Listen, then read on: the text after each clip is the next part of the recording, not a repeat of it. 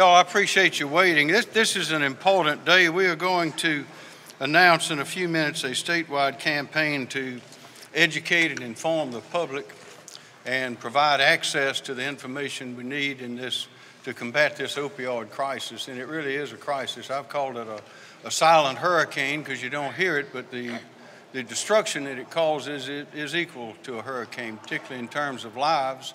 Uh, and more than that, we know that in just, uh, I think it was last year, we had 616 people killed by opioid abuse, op- opioid overdose, opioid use, compared to 366 murders. That's again, 660 people died from opioids, compared to 366 actual murders. And I think the number of uh, uh DUI uh, deaths or caused by DUIs was around 300. So I, I believe the figures demonstrate the tragedy that is encompassing us. And one thing that we've learned is we've studied and gotten deeper and deeper over, over the over the years in the last few months especially is that nationwide 54% of these opioid pills come from somebody's medicine cabinet. That is, they're, act, they're extra pills that are just left in the medicine cabinet and somehow they find their way out, whether by children who take them or dispose of them in some way, or they end up on the, the black market, the criminal market out there. And it really is a crisis. But since it's not in front of us, we don't see it. Most of us don't see it very, very often. It's something that is uh, very deceptive and very dangerous. So we are, th- those of us here and, and many others have determined that it is time to do something about it that we have not done before.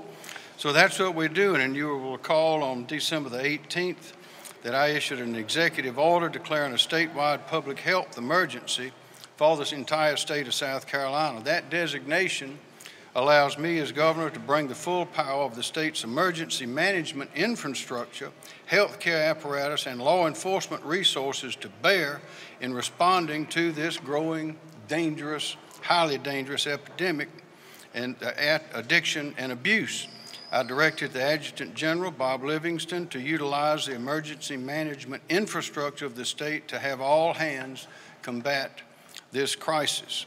To facilitate this coordination of federal, state, and local resources, I established the Opioid Emergency Response Team.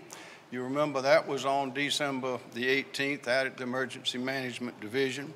All hands were on deck, including people from the, the private sector, doctors, principals of, of high schools, as well as the entire law enforcement and emergency management team. And that organization is under the leadership of Sara Goldsby of DAODAS and Mark Keel of SLED. This team is making progress. We are having meetings, we're having discussions, and also we have taken action by having, I have required directed Department of Health and Ho- Department of Health and Human Services and the and the state uh, public employment benefit authority has agreed voluntarily. I directed DHHS to limit the initial prescriptions for opioids for acute and postoperative pain to a maximum of five days under the Medicaid.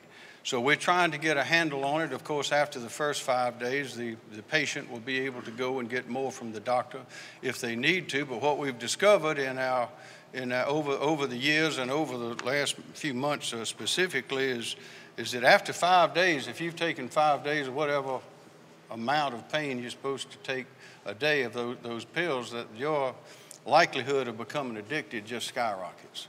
So five days is the, is the cutoff. That is, that is the dangerous line. That's the red line. Once you cross that, you run into problems of being in trouble. So what we are doing is we're limiting it to the first five days, and then you have to, have to go back.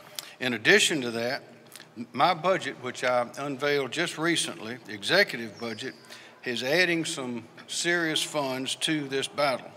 We called for $4,350,000 in new dollars to Department of Health and Human Services for opioid treatment clinics throughout the state.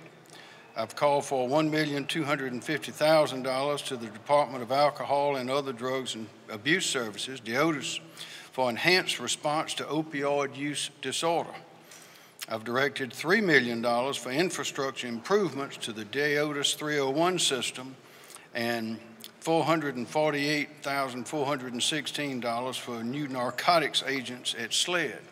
Now, whether the legislature will agree with what I've asked is another question, but we'll work hard to see that we do that.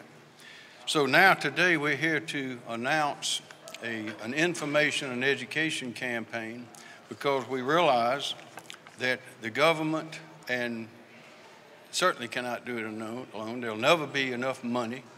As I've said, uh, we are when we try to fund government services, we we have a six-foot uh, bed but a four-foot blanket. There will never be enough money, and this is a way with an education campaign which we're unveiling today to let the citizens themselves, the mothers, the fathers, the children, the aunts, the uncles, the neighbors, the friends, anyone, to have access to all the information that they need, to have a place they can go to start to find where services, treatment, symptoms, the danger, and all of that. It's a one stop shop for information to help inform the people of our state how to help take care of themselves as well as those they love, as well as total strangers that they may see as they move around during the day.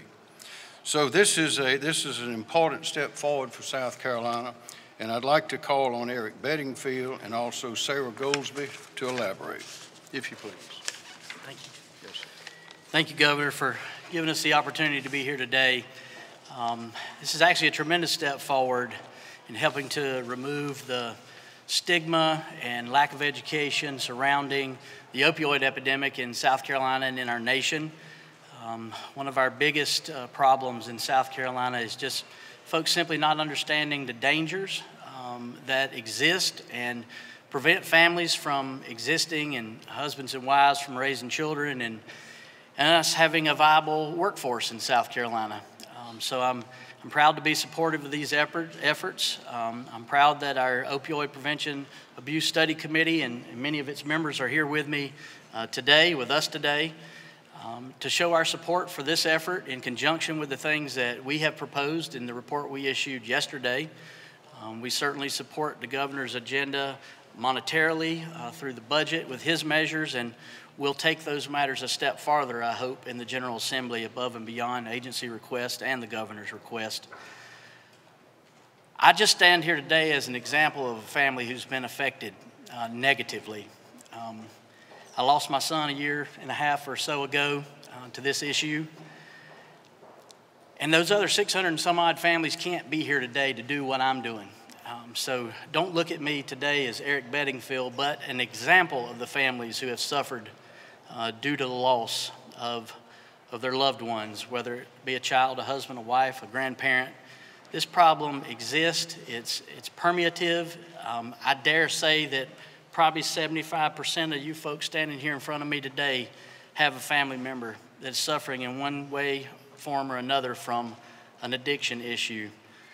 Um, our design today with this, with this money is to educate, inform, and make people understand uh, what's happening in our society related to this issue and things that we can do to prevent it.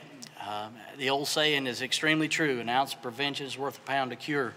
And today, we're going to throw our ounce of prevention um, at everybody we can in South Carolina, and I'm, I'm glad to be here. Thank you. Thank you. Thank you. Let's go. Thank you, Representative Bedingfield, for your heartfelt words as always, and thank you, Governor, for your steadfast leadership on the opioid issue in our state. We know that so many prescriptions are dispensed in our state every year, more in fact than the citizens that we actually have in South Carolina. And these opioids or painkillers are extremely valuable and important as a, in one role in our medical field, but when they're misused, they can be incredibly dangerous. They can be harmful and addictive. And, you know, opioids can be just plain killers. They can kill relationships, they can kill futures, they can kill careers, and they can just plain kill. The Just Plain Killers is a public education campaign sponsored by DAODAS, and it's really designed to give South, Carolina, South Carolinians a home for information about the safe storage, the safe disposal, and the safe use of prescription medications. And it's, it's really a hub, as, as the governor said, uh, to find information about where you can find help for yourself, uh, a neighbor, a coworker, uh, anyone suffering from opioid use disorder or any addiction. But this really isn't just a government issue, as, as we're describing. State leaders can pass laws and we can uh, share resources, provide services, increase awareness, but we need the involvement of everyone in South Carolina to help combat this epidemic. So we need you to join the fight. And because, you know, it's, it's all of us who are affected, you know, neighbors, coworkers, classmates, employees, so this campaign, this website that we're, we're announcing today and, and showing you, justplainkillers.com, is going to contain the valuable information that citizens need and can use, printable resources including brochures, fact sheets, uh, PowerPoint presentations. These can be used in your homes, in your classrooms, in places of worship, and in businesses uh, not just for the treatment professionals, but by employers and educators who really want to share more of this information with the people around them. And I'd like to take just a quick moment to show you one of the TV spots that we'll be using to raise awareness of the campaign and the website.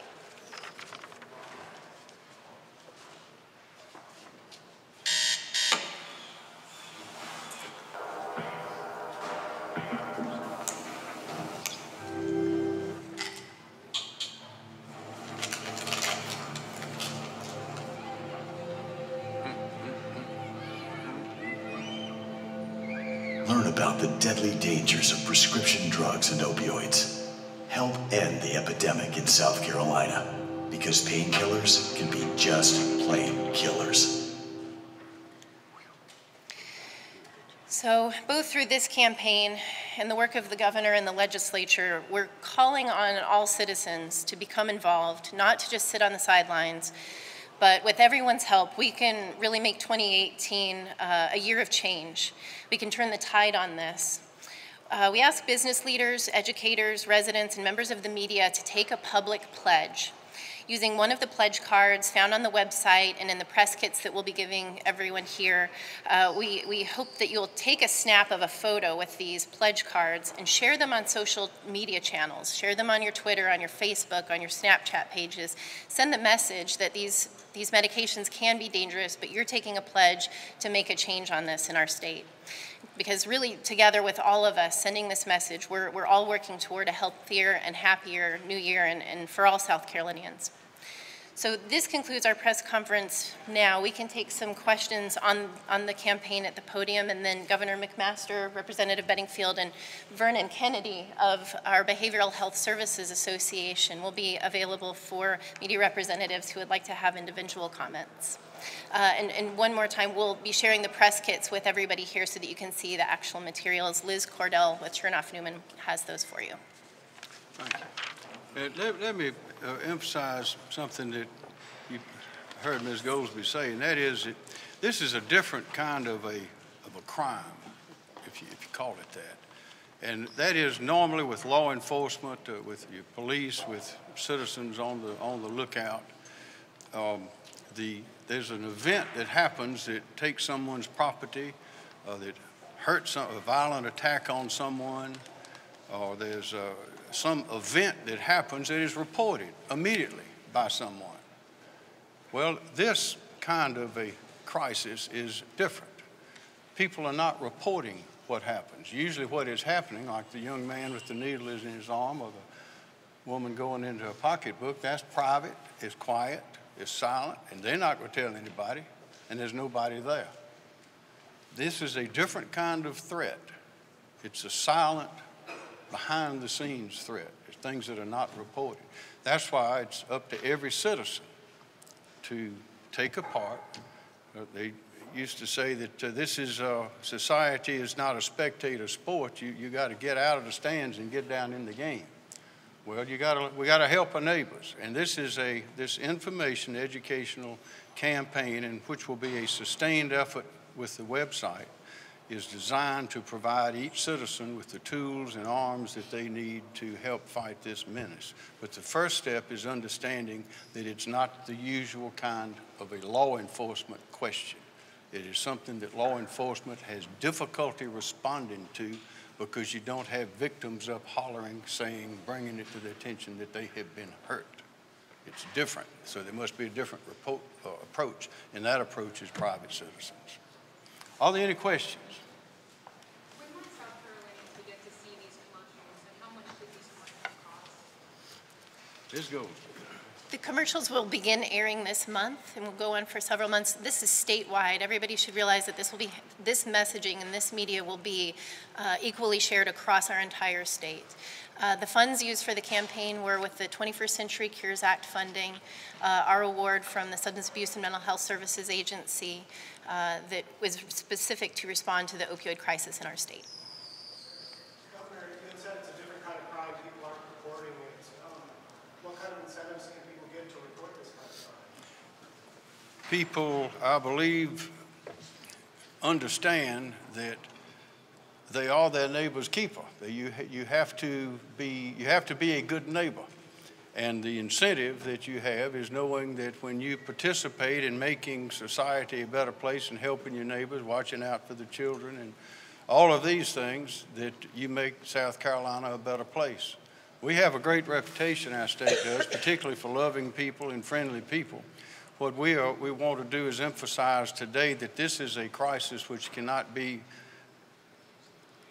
solved by the normal means that we expect to use to solve, to meet crises. And that is, this is going to take private initiative, private action, and we, the point is to alert the people of South Carolina that that is the kind of threat this is. And they must be involved if we are going, going to solve. I think we have the best law enforcement in the country. And there's, there's no, no doubt that our health establishment is, is terrific as well. This is outside the scope of that. This is something that the, each citizen needs to take a part in. So how do you get, like, um, your son or your nephew or somebody is, is addicted to this, and you're gonna turn them in? How- how- how do you Well, that, that's easy. You just, you, you, how do you, you just do it. There's some things you must do, but also I'm, we're hoping that people will see these ads that are very good and that they will understand that this is a real crisis. A lot of times, once people understand that we're really in deep trouble, they'll, they will begin to react. And we're attempting to make that happen more so than it is already. Any more questions? Yes, sir. One question, once we turn a person in, perhaps in the Morris Village, do we have anything in place, or once they leave Morris Village, after twenty-eight days, they got safe housing, people that they can care or treatment sites? Let's go.